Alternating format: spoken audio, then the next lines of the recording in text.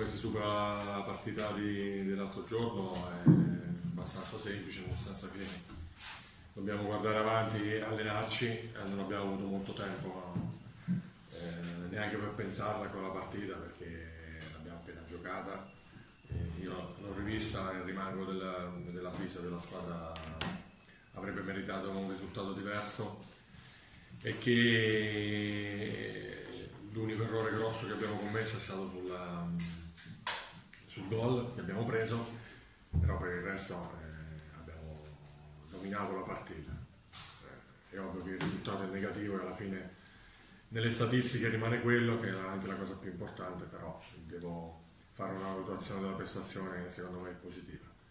Le tre giornate non, non lo so, nel senso che Samuele ha fatto un, un errore eh, grosso, è inutile girarci intorno alle tre giornate, mi sembrano eccessive, luci eh, ha messo in atto quello che un giocatore esperto in determinati momenti della partita può fare quando un avversario, in questo caso Berindelli, commette, commette un errore.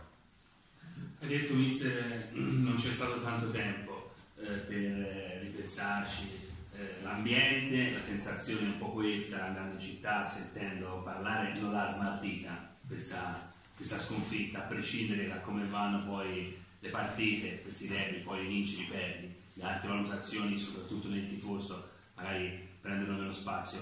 La squadra l'ha metabolizzata oppure qualche scoria, oltre che nell'ambiente, per la sconfitta, il rammarico, insomma ce l'ha anche due giocatori? No, no, la squadra molto, era molto triste nello spogliatoio, eh, perché, ripeto, eh, si aveva la sensazione di poter eh, pareggiare, se non fare addirittura di vincere la partita. l'ambiente immagino che non, non, sia felice della sconfitta del derby, come è giusto che sia, perché il tifoso, giustamente, anche io quando lo sono, eh, della prestazione sì, mi interessa, ma alla fine quello che conta sono i punti, noi abbiamo perso e perciò immagino che non ci sia grande felicità in, in giro per la, per la, città. Detto questo, il campionato va, va avanti e noi lo dobbiamo giocare al massimo già a partire da domani sera. Mister, quando non si vince da tanto tempo, poi si sa, le partite si fanno sempre più difficili a prescindere dall'avversario. Quali sono le certezze dalle quali vuoi ripartire domani sera? Certezze della tua squadra? Noi dobbiamo cercare di giocare bene eh, a calcio. Eh, tra la partita con il Crotone e quella con il Livorno c'è una differenza sostanziale. Con il Livorno abbiamo giocato bene e con il Crotone abbiamo giocato male. Con il Crotone abbiamo pareggiato e, con la... e il derby l'abbiamo perso.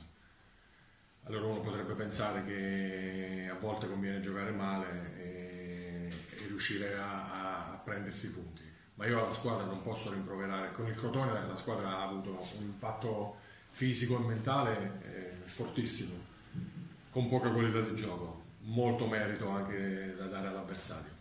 Con il Livorno abbiamo avuto un impatto di partita buonissimo perché abbiamo avuto due palle gol clamoroso per passare in vantaggio e la squadra ha tenuto il campo per tutta la partita, però non siamo riusciti a vincere.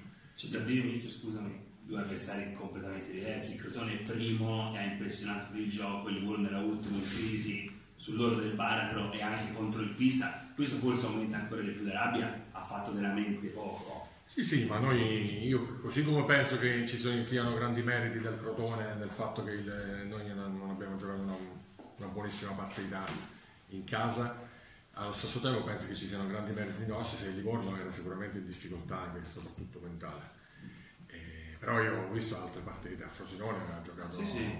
bene, non avrebbe meritato di perdere. Perciò il calcio è fatto così, poi chi, chi vince, chi fa gol vince e, e, perciò io credo che noi si debba ripartire dalla prestazione eh, fatta con il, con il Livorno, eh, cercando di fare gol ovviamente. E, e ripeto, sono... Mh, soddisfatto della partita perché la squadra ha, in campo ha dato tutto quello che aveva sotto tutti i punti di vista. Poi, ripeto, la, la sconfitta brucia in primis a noi oltre che ai tifosi, è ovvio. Mister, dal punto di vista fisico ha lasciato delle scorie questo derby, come sta la squadra, come sta De Vitis che era l'unico assente eh, sabato e se, faccio l'ultima domanda, attenzione si poi lasciare colleghi, se valuti Moscardelli pronto per giocare al primo minuto anche domani sera. E De Vitis eh, ieri si è allenato con la squadra, oggi dovrebbe fare lo stesso, perciò è sicuramente a disposizione per venire almeno per essere almeno dei 23 giocatori.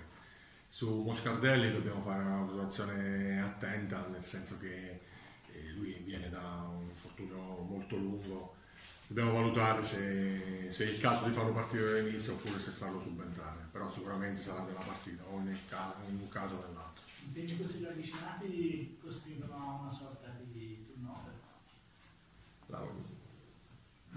Passano solo 48 ore, perciò le valutazioni che, fa, che farò per la partita di domani sono innanzitutto fisiche e noi abbiamo la, la, la possibilità di monitorare i giocatori sia durante la partita che durante i giorni seguenti alla gara per vedere se, qual è il loro recupero fisico e poi farò valutazioni eh, tattiche. Perciò, se quelli che hanno giocato mi daranno risposte o meglio.